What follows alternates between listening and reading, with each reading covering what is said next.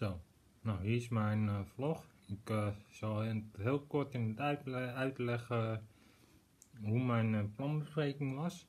Nou, die was niet optimaal, want ja, ze zeggen bij de aanbod dat de cliënt centraal staat. Ik merkte helemaal niks van. En ehm, ja, ik ben nu aan het eten. Ik ben nu lekker PL aan het eten. En dan uh, straks uh, ga ik hem uh, afwassen doen.